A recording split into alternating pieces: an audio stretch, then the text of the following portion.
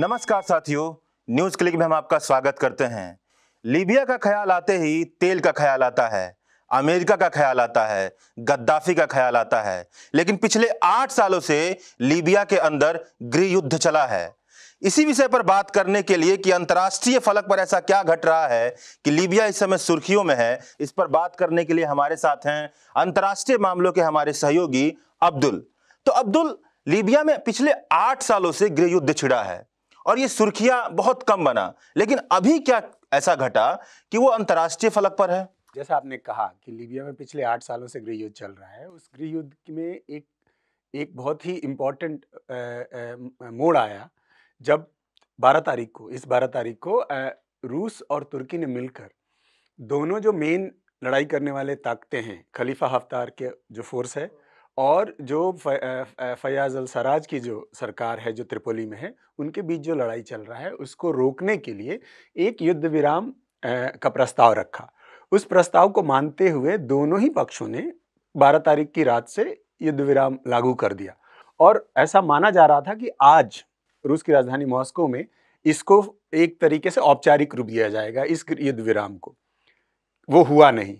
तो इन्हीं सब चीज़ों को लेकर लीबिया आजकल चर्चा में है। इसको आप एक चीज़ और इसमें देखिए कि जो पिछले, जैसा आपने कहा कि आठ सालों से युद्ध चल रहा है, पर अभी ऐसा क्या हुआ कि युद्ध विराम की स्थिति लागू होनी पड़ी? दो चीज़ें हैं उसमें। एक पहला चीज़ ये कि पिछले आठ सालों से जो हो रहा था, उसके उलट अभी हाल फ़िलहाल में क्या हुआ कि अंतर्राष्ट्रीय ताकतें खुलेआम, पहले जो है दोनों सपोर्ट करती थी दोनों फोर्सेस को खलीफा अफ्तार को या फयाज अल सराज की मुख्यतः। अंतर्राष्ट्रीय ताकतों में कौन ताकतें अगर हम देखें डिवीज़न जो है जो विवाद है उसमें देखिए कि फयाज अल सरकार फयाज अल सराज की जो सरकार है जो त्रिपोली में है जिसको गवर्नमेंट ऑफ़ नेशनल अकॉर्ड भी कहते हैं उसको यूनाइटेड नेशंस का रिकॉग्निशन है और उसके साथ साथ तुर्की और यूनाइटेड नेशन यूनाइटेड स्टेट्स यानी कि संयुक्त राज्य अमेरिका का सपोर्ट है लेकिन जो खलीफा अवतार की फोर्सेस हैं जो आप कह सकते हैं कि हम आएँगे उसके ऊपर भी बात। करना चाहिए हमें कि वो क्या है उसके पीछे का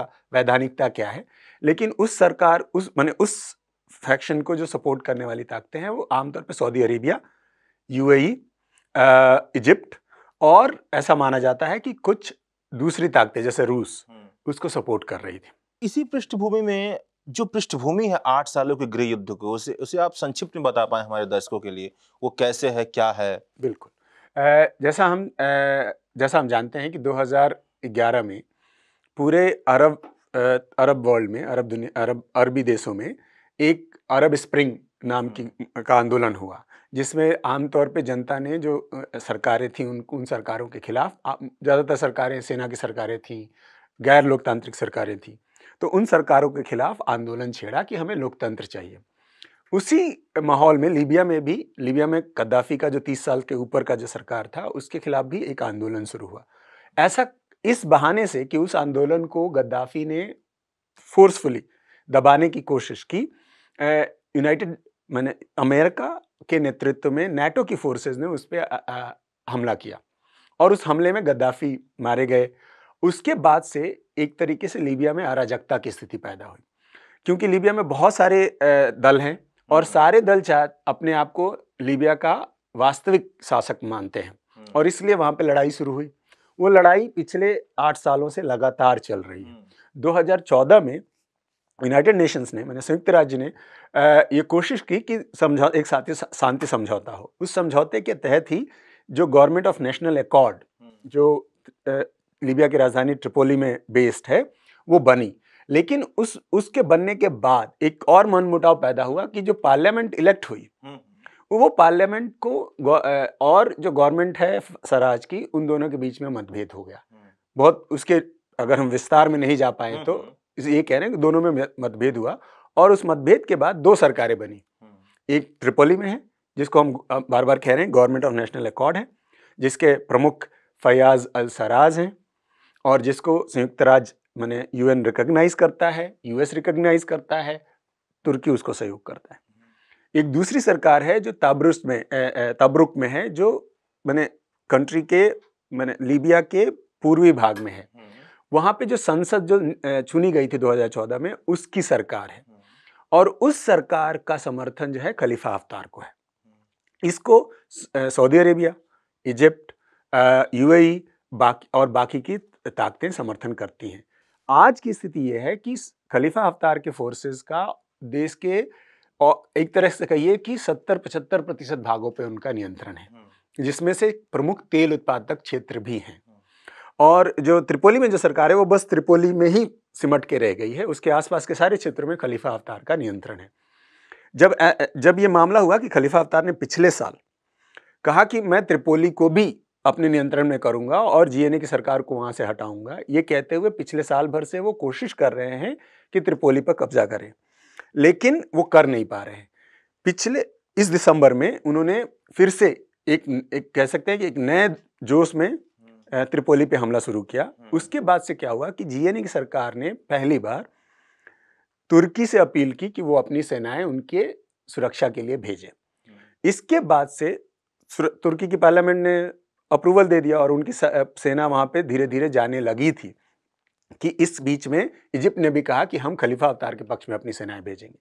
जब ये मामला इतना कठिन हो गया तब रूस और तुर्की जो दूसरे कारणों से अंतर्राष्ट्रीय स्तर पे एक सहयोगी के तौर पे उभर रहे हैं जैसे हमने सीरिया के परिप्रेक्ष्य में देखा था तो उन्होंने मिलकर ये कोशिश की कि ये युद्ध आगे ना बढ़े हम्म। और इसके लिए युद्ध विराम का प्रस्ताव रखा। ये युद्ध विराम का प्रस्ताव इस और एक परिप्रेक्ष्य में हो रहा है कि इसी महीने जनवरी में संयुक्त राज्य ने यानी यूएन ने एक सारे पक्षों के लिए ये लिबिया में जो जितने सारे पक्ष हैं उन सबकी एक मीटिंग रखी है जर्मनी में हम्म। बर्लिन में वो होने वाली है इसी महीने होने वाली है तो उस मीटिंग से पहले अगर युद्ध विराम हो जाता है इसको लेकर रूस और तुर्की ने ये युद्ध विराम का प्रस्ताव रखा था जिसपे सहमति बनी थी लेकिन आज की खबर है कि खलीफा अवतार ने उसको औपचारिक रूप देने से इनकार कर दिया है। बड़े अच्छे ढंग से आपने रूस और तुर्की और अंतर्राष्ट्रीय ताकतों का किस तरीके से इसमें हस्तक्षेप है उसे बताया। लेकिन वो जो युद्ध के समय जो आम जनता होती है उसके साथ उस पर क्या प्रभाव पड़ रहा है? उसको अगर उसकी अगर आप तस्वीर प्रस्तुत कर पाए तो उसे बताएँगे आप। बहुत अच्छा सवाल है। आप देखिए कि लीबिया में जब गद्दाफी थे ऑफकोर्स गैर लोकतांत्रिक सरकार थी। आ, लेकिन एक चीज़ था कि उस गैर लोकतांत्रिक सरकार में भी जो लीबिया की आर्थिक स्थिति थी वो बहुत मज़बूत थी। वो सिर्फ़ लीबिया और जो लीबिया में जो तेल चूँकि दुनिया का सबसे बड़े तेल उत्पादक देशों में से एक है लीबिया उस तेल का जो रेवेन्यू था उस रेवेन्यू का इस्तेमाल न सिर्फ़ लीबिया के आर्थिक विकास के लिए बल्कि आसपास के देशों के आर्थिक विकास के लिए भी किया जाता था। जब से युद्ध शुरू हुआ है तब से देश की अर्थव्यवस्था बुरी तरीके से चरमरा गई है। और तेल के ऊपर कब्जा करने के लिए आप कह रहे हैं कि हम लोग कह रहे हैं कि खलीफा अवतार और फयाज अल सराज के बीच की लड़ाई है लेकिन सिर्फ़ इनके बीच की लड़ाई नहीं है। ये तेल के क्षेत्रों पर नियंत्रण करने के लिए आखिरी तौर पे संयुक्त राज्य अमेरिका हम्म। का बेसिकली दखलंदाजी है। वो खलीफा हफ्तार को ऐसा माना जाता है कि पीछे से हालाँकि फॉर्मली वो फयाज अल सराज को रिकॉग्नाइज करते हैं लेकिन अनौपचारिक तौर पे ट्रंप ने हालाँकि बेसिकली खलीफा अवतार की फोर्सेस को समर्थन दिया है। पिछले साल अप्रैल में जब मैंने आपको कहा कि कैसे ऑफेंसिव हुआ खलीफा अवतार त्रिपोली पे कब्जा करने के लिए जब आगे बढ़े तो बावजूद इसके कि सरकारी तौर पे फयाज अल सरा, सराज की सरकार को समर्थन करना चाहिए था ट्रंप ने खुलेआम खलीफा हफ्तार की बड़ाई की। तो मेरा हिसाब से ये जो अंतर्राष्ट्रीय ताकतें हैं खास करके जो जो साम्राज्यवादी ताकतें हैं और खास करके अमेरिका जो है वो चाहता है कि ऐसी सरकार बने लीबिया में जो उसके तेल के एक तरीके से हम कहें भूख को हम्म। या उसकी तेल की ज़रूरतों को पूरा कर सके और जो उस पूरे रीजन में अफ्रीका है हम्म। लीबिया अफ्रीका में है हम्म, अफ्रीका और भूमध्य सागर के क्षेत्र में उसके प्रभुत्व को बनाए रखने में मदद करे और इसी की लड़ाई है ये। और इसमें आम जनता का क्या स्थिति है? किसी को नहीं मिला। सिर्फ़ बहुत सारा दूसरा डेटा है, लेकिन अगर आप सिर्फ़ पिछले साल भर का जो डेटा यूनाइटेड नेशंस ने जो पब्लिश किया है वर्ल्ड वर्ल्ड हेल्थ ऑर्गेनाइजेशन ने डब्ल्यू ने, उसके हिसाब से सिर्फ़ पिछले साल भर में डेढ़ लाख से ज़्यादा लोगों का विस्थापन हुआ है। दो हज़ार से ज़्यादा लोग मारे गए हैं और जो सैन्य बल है उनकी संख्या और भी ज़्यादा है, मरने वालों की। ये तब है जब लीबिया की कुल जनसंख्या सत्तर लाख के आसपास है। तो आप कह सकते हैं वो देश जो एक तरीके से किसी ज़माने में अफ्रीका के बहुत बहुत सारे देशों के लिए आर्थिक मदद पहुंचाता था, बहुत सारे लोगों को रोज़गार मुहैया कराता था, वो एक तरीके से जैसे जो खाड़ी के देश हैं, जहाँ लोग दुनिया भर से रोज़गार प्राप्त करने के लिए जाते हैं, वैसा ही लीबिया में था। उसको पूरी तरीके से तहस नहस कर दिया गया है साम्राज्यवादी शक्तियों के दखलंदाजी के से। शुक्रिया इस पर हमसे बातचीत करने के लिए।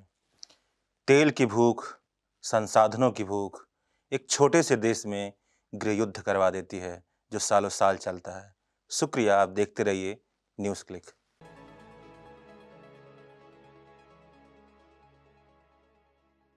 you